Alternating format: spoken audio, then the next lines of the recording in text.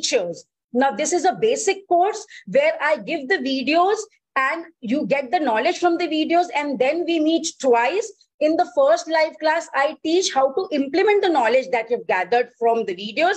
And in the second live class i clear your doubts. So the videos and the community support that you're getting in this is for your lifestyle. Next i go to the advanced course. In this i teach you one to one live I also train your mindset to a growth mindset. I give lectures for that also and prepare you to start up your classes. I handhold you in your journey from starting to problems for each child. Suppose a child is coming to you and you don't know how to start, how to teach, or maybe after a while you have a problem with a concept, then I'm there to hold you. So the community support and everything is for you for the lifetime. The live classes are also there for the lifetime. Here, I also provide material in this